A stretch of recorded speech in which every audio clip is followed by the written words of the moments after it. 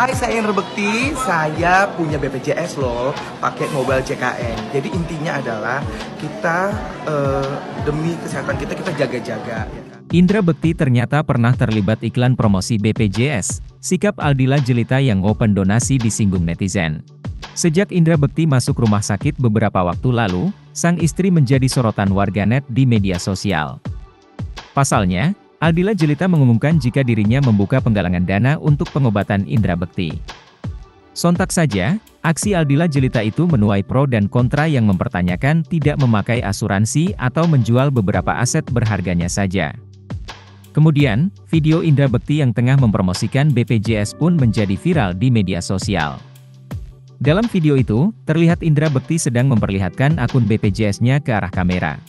Hai, saya Indra Bekti. Saya punya BPJS loh, pakai mobile CKN. Jadi intinya adalah kita eh, demi kesehatan kita kita jaga-jaga. ya?